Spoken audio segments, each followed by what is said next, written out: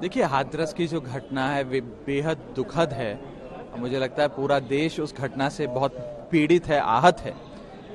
मैं सबसे पहले तो आ, अपनी कंडोलेंसेज अपनी श्रद्धांजलि देना चाहूँगा उन लोगों को जिन लोगों की इस वारदात में इस अनफॉर्चुनेट इंसिडेंट में जान चली गई।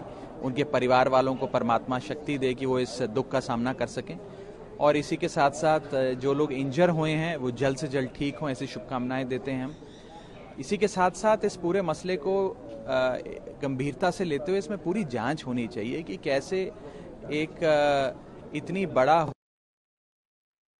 इकट्ठ एक जगह पे हो जाता है और वहाँ पे कोई व्यवस्था नहीं है उनके निकलने के लिए, वो कैसा हुआ प्रशासन से कौन जिम्मेदार था? जिस संगठन ने उस कार्यक्रम का आयोजन किया था उस संगठन से किसकी ज़िम्मेदारी बनती है? ये सारी जिम्मेदारियाँ तय होनी चाहिए और सख्त से सख्त क्रिमिनल प्रोसीडिंग्स उन लोगों के खिलाफ होनी चाहिए जो इस पूरी घटनाक्रम के पीछे असली गुनेगार हैं। सर प्रधानमंत्री ने कल अपने स्पीच में कई सारे बातों का नीट से लेकर के राहुल गांधी को क्या क्या कहा गया विपक्ष के नेताओं क्या क्या कहा इसमें आपका ज़िक्र किया देखिए अब राज्यसभा में भाषण है वो सुनने जा रहे हैं उसके बाद आपसे विस्तार से चर्चा करेंगे।